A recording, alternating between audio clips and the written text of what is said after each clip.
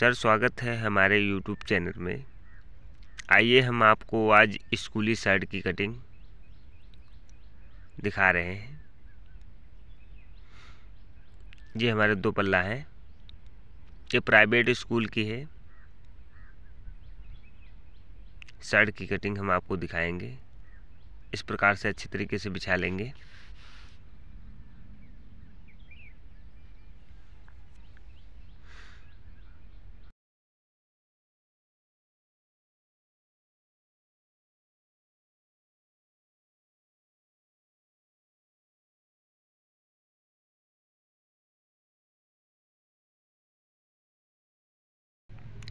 अब ये नीचे वाली मार्किंग हम इस प्रकार से खींच लेंगे सूधी बिल्कुल। और इधर ये हमारी जो काज पट्टी है ये, इसको हम डेढ़ इंची, ये डेढ़ इंची की हमारी फंटी है। डेढ़ इंची की इस प्रकार से मार्किंग खींच लेंगे।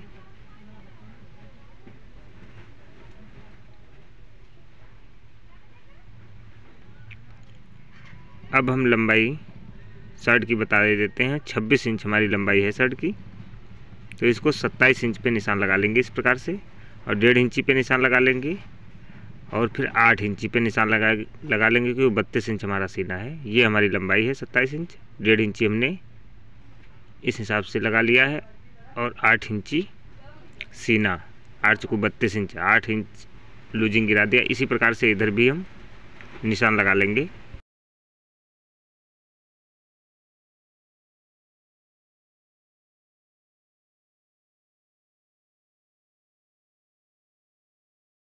इस प्रकार से तीनों मार के अच्छे तरीके से बराबर शुद्धि कर लेंगे हम। अब हम कॉलर का निशान लगाएँगे ढाई इंच पे इधर और ढाई इंच पे इधर लगा लेंगे और इसको भी अच्छे तरीके से हम गोलाई कर देंगे।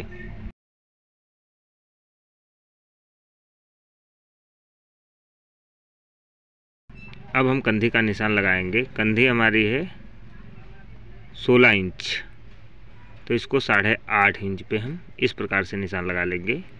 यहाँ पर भी हम साढ़े आठ इस प्रकार से निशान लगा लेंगे। फिर हम बत्तीस इंच हमारा सीना है उसको पौने दस पौने दस यानी दस से दो सूत कम रखेंगे, क्योंकि नौ से हम सवा नौ ये तैयार हम शर्ट रखेंगे। इसी प्रकार से इधर भी हम पौने दस का निशान लगा लेंगे और बीच में सवा नौ। यानी नौ से दो सूत ज़्यादा बीच में निशान लगा लेंगे। इस प्रकार से मार्किंग अच्छे तरीके से कर लेंगे।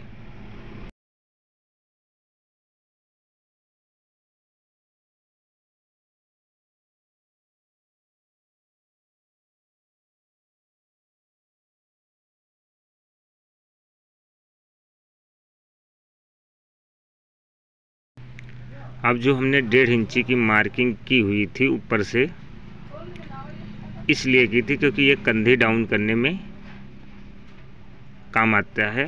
और इसको फिर इधर भी हम सवा एक इंच और इस प्रकार से हम आस्तीन की गोलाई कर लेंगे और इसको अब हम कट कर लेंगे। इसी प्रकार से अच्छी तरीके से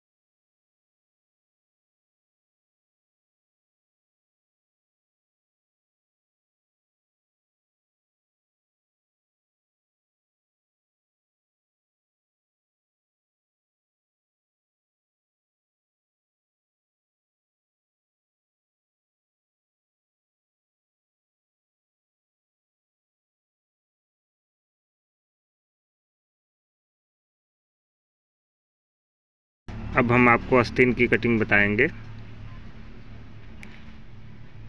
यहाँ पे हम आधा इंच के निशान लगा लेंगे। यहाँ से लंबाई हमारी अस्तीन की 22 इंच है। तो इस प्रकार से यहाँ 21 इंच पे हम निशान लगा लेंगे।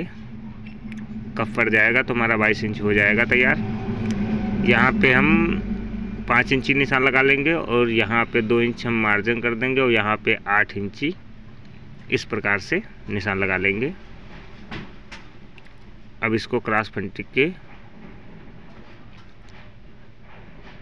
माध्यम से इस प्रकार क्रॉस कर देंगे और इसको भी हम कटिंग कर लेंगे।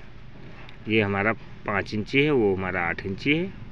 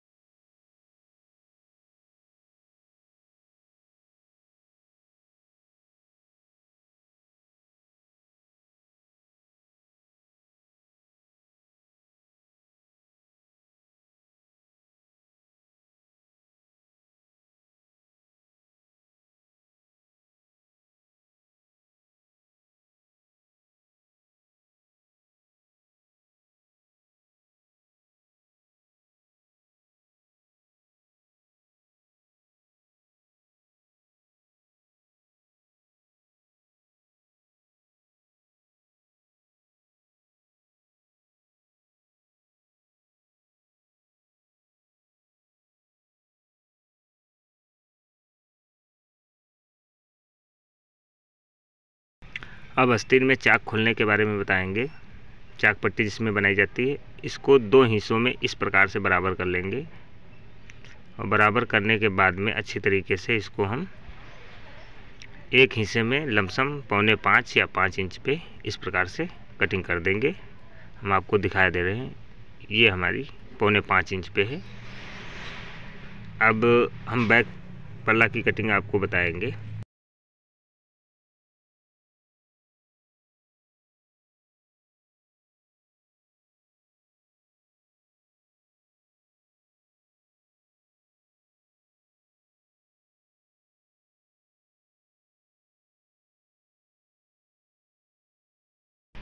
बैक पल्ला अच्छी तरीके से बिछा लेंगे।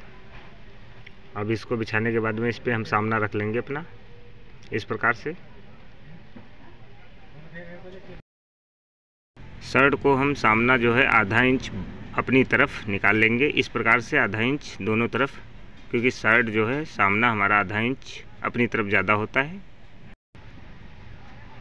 अब यहाँ पे हम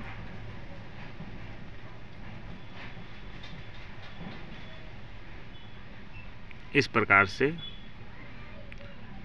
पौने तीन इंच पे निशान लगा देंगे और यहाँ पे हम ढाई इंच का निशान इस प्रकार से लगा लेंगे और इसको हम क्रॉस कर देंगे इस प्रकार से फ्रंट के। ये हमारा क्रॉस हो चुका है। अब हम कंधे का निशान लगाएँगे, जो हमने साढ़े आठ इंच पे लगाया था, पहले इसकी मार्किंग कर लेते हैं हम। अब हम कंधे का निशान लगाएँगे साढ़े आठ इंच पे। और यहाँ से हम पहले तीन इंची पे निशान लगा लेंगे और यहाँ पे ढाई इंची जो हमारी कॉलर पड़ेगी, इसको हम गोल कर देंगे। अब हम कंधे का निशान लगाएँगे, साढ़े आठ। और यहाँ पर भी साढ़े आठ का निशान लगा लेंगे और इसको हम इस प्रकार से मार्किंग कर लेंगे और इसको भी अब हम बैग पल्ला को भी कट कर देंगे।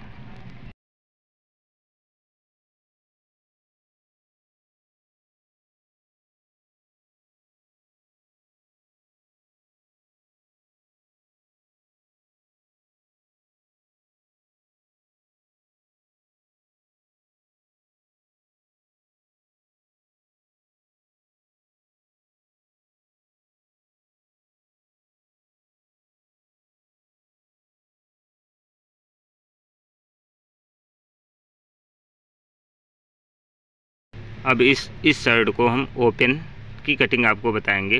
किस प्रकार से ओपन कटिंग करते हैं। इसको लमसम हम ढाई इंच से इस प्रकार से अच्छी तरीके से राउंडिंग कर लेंगे।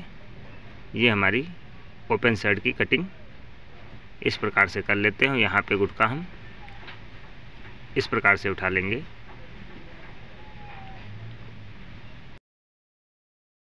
अब हम नोकदार त्योरा की कटिंग करेंगे। इसको हम इस प्रकार से अच्छी तरीके से, इस प्रकार से मोड़ लेंगे। जो सूधा हिस्सा है, वो हम ऊपर की तरफ़ रखेंगे। और जो हमारा तिरछा है नोकदार, इसको नोकदार हम नीचे कर देंगे। इसी प्रकार से इस पर हम अपना बैक पल्ला रखेंगे।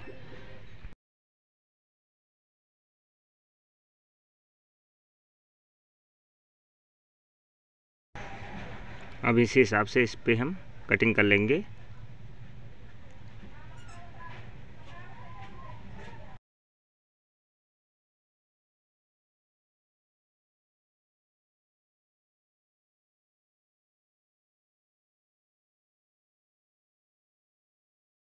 अब इसके बाद में हम इस प्रकार से इसको हम नोक तोरा को कट कर लेंगे।